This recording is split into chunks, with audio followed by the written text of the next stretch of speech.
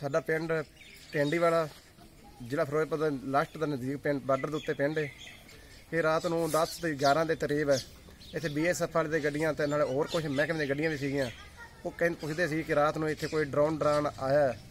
ਕਿ ਅਸੀਂ ਆਖਿਆ ਵੀ ਸਾਡੇ ਪਿੰਡ ਵਿੱਚ ਨਹੀਂ ਪਰ ਬੀਐਸਐਫ ਨੂੰ ਪੂਰਾ ਛੱਕ ਤੌਰ ਤੇ ਇਸ ਲਈ ਉਹ ਰਾਤ ਨੂੰ ਪੂਰੇ ਘੁੰਮ ਰਹੇ ਸੀ। ਕਿੰਨੀਆਂ ਕੁ ਗੱਡੀਆਂ ਆਈਆਂ ਤਕਰੀਬਨ 10 11 ਗੱਡੀਆਂ ਸੀ ਕੀ ਪੁੱਛਦੇ ਰਹੇ ਫਿਰ? ਇਹੀ ਪੁੱਛਦੇ ਸੀ ਕਿ ਤੁਸੀਂ ਪਿੰਡ ਵਿੱਚ ਡਰੋਨ ਵੇਖਿਆ ਜਾਂ ਕੋਈ ਬਾਹਰ ਦਾ ਬੰਦਾ ਆਉਂਦਾ ਜਾਂਦਾ ਗਲਤ ਕੰਮ ਤੇ ਕਈ ਬੰਦੇ ਆਉਂਦੇ ਜਿਵੇਂ ਉਹ ਪੁੱਛਦੇ ਸੀ ਕੋਈ ਬਾਹਰ ਦਾ ਬੰਦਾ ਇੱਥੇ ਆਇਆ ਹੋਵੇ ਇਹ ਕਿ ਭਾਜੀ ਵੀ ਇਸ ਤਰ੍ਹਾਂ ਨਹੀਂ ਵੇਖਿਆ ਪਰ ਸ਼ੱਕ ਤੌਰ ਤੇ ਉਹ ਪੂਰੇ ਡਰੋਨ ਦੇ ਚੱਕਰ ਵਿੱਚ ਸੀ।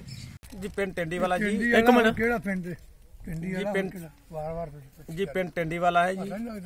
ਅਸੀਂ ਰਾਤ ਨੂੰ ਤਕਰੀਬਨ ਗਿਆ- 12 ਤਕਰੀਬ ਟਾਈਮ ਸੀ ਜੀ। ਰਾਤ ਨੂੰ ਗੱਡੀਆਂ ਬੀਐਸਐਫ ਦੀਆਂ ਨਾਲ ਪੁਲਿਸ ਦੀ ਗੱਡੀਆਂ ਸੀ ਜੀ। ਰਾਤ ਲੰਘੀਆਂ ਅੱਗੇ ਤੇ ਇੱਥੇ ਸਾਡੇ ਘਰਾਂ ਕੋਲ ਰੁਕੇ। ਮੈਂ ਭੱਜ ਕੇ ਪੁੱਛਿਆ, ਮੈਂ ਕੀ ਗੱਲ ਏ? ਕਹਿੰਦੇ, ਅੱਗੇ ਜਾ, ਦੱਸੀ ਨਹੀਂ ਸਾਨੂੰ ਕੋਈ ਉਹਨਾਂ ਗੱਲਬਾਤ।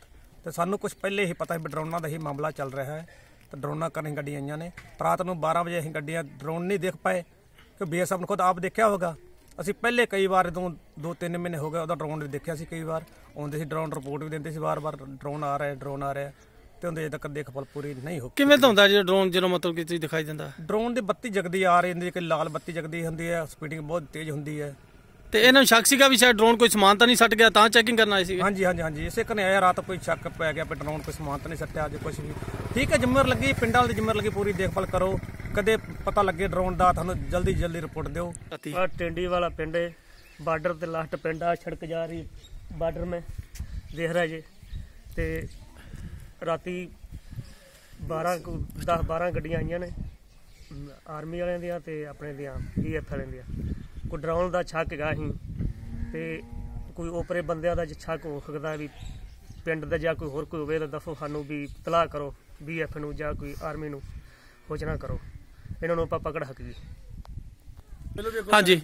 ਲਾਈਟ ਜੀ ਰਾਤੀ ਮੁੰਡਿਆਂ ਨੇ ਤੇ ਕਣਿਆਂ ਨੇ ਇਦਾਂ ਦੇ ਮਾੜੀ ਮੋਟੀ ਦੇਖੀ ਹੈ ਸ਼ਾਇਦ ਪਹਿਲਾਂ ਵੀ ਪਹਿਲਾਂ ਹਾਂ ਪਹਿਲਾਂ ਵੀ ਉਹਦੇ ਝੋਨ ਝੋਨੇ ਪੱਕ ਰਹੇ ਸੀ ਉਦਾਂ ਵੀ ਆਏ ਸੀ। ਉਦਾਂ ਵੀ ਬਹੁਤ ਬੀਐਫ ਤੇ ਆਪਣੀ ਦੂਜੀ ਆਪਣੇ ਆ ਰਹੇ ਸੀ ਦੂਜੇ ਆਪਣੇ ਪੁਲਿਸ ਵਾਲੇ ਵੀ।